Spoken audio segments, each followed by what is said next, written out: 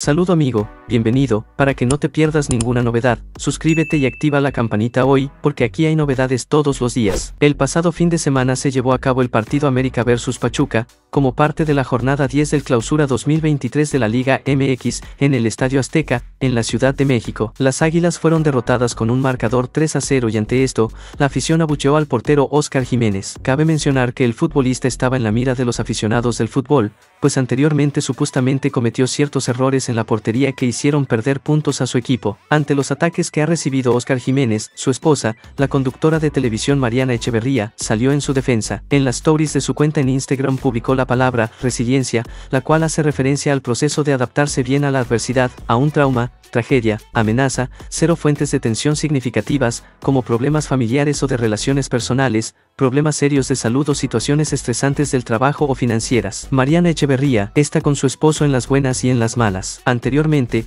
Oscar Jiménez fue abucheado a su llegada al Aeropuerto Internacional de la Ciudad de México, motivo por el cual, la conductora de televisión pidió a los aficionados tener empatía hacia ellos, pues estaban pasando por un mal momento tras la pérdida de un bebé. Hola a todos, los convoqué para hacerlos saber que hace unas semanas perdimos a nuestro bebé yo y Oscar no hemos dormido bien, estamos pasando por un momento complicado tanto como el Club América. Expresó. El viernes pasado le gritaron de todo a Oscar Jiménez a su ilegada al hotel en Guadalajara y en la madrugada en la Ciudad de México en el aeropuerto, los pocos seguidores presentes aplaudieron a todo el club y a Oscar le tiraban palabras que se les olvidó el mal momento que pasamos, quiero pedir que dejen los colores y no envuelvan este momento los resultados del club. Cabe mencionar que en febrero pasado, Mariana Echeverría dio a conocer Q a través de sus redes sociales, que a principios de años logró embarazarse por segunda ocasión, sin embargo, sufrió un aborto a los pocos días de haberse enterado.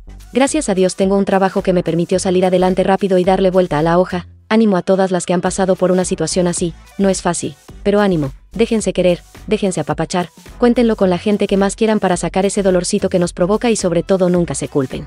Su comentario es muy importante para mí, déjalo aquí abajo, si yo fuera tú, activaría la campanita porque pronto volveré con más noticias, saludos.